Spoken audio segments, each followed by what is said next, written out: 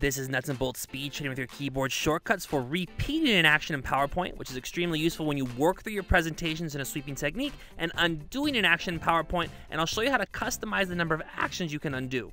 And here in PowerPoint, let's first look at repeating an action in a sweeping technique. And what I mean by a sweeping technique is first selecting an object or a block of text, performing an action, and then sweeping through your slide or your presentation and repeating that action with your keyboard shortcuts. So for example, if I select this first block, of bulleted text into my ruler, I change the bullet spacing.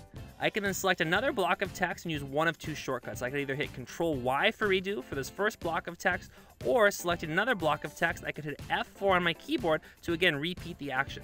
Both shortcuts do exactly the same thing. I can also repeat actions between my slides, so if I holding shift select my three rectangles, come to the Drawing Tools Format tab, I'm going to fill them with a light blue. Now to move to the next slide, I need to make sure to click with my mouse. If I hit page down, that will count as an action when I redo it. So I'll click to slide number four, holding shift, select my two rectangles. I'll hit control Y on this first slide to redo the action. Click to slide number five. And on this last slide, I'll hit F4 to redo that action. So that's how to redo an action in a sweeping technique.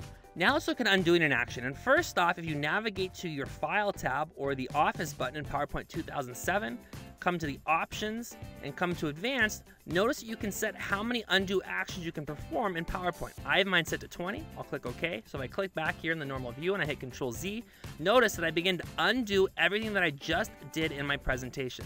Now, once you've undone something, you can redo it the opposite direction. So if I hit Control Y on my keyboard, notice that I start to redo everything that I just undid here in PowerPoint. So those are your keyboard shortcuts for redoing and undoing actions in PowerPoint and how to manually set just how many actions you can undo. To grab a PDF of all of these awesome shortcuts plus over 100 more, look for the link beneath this video.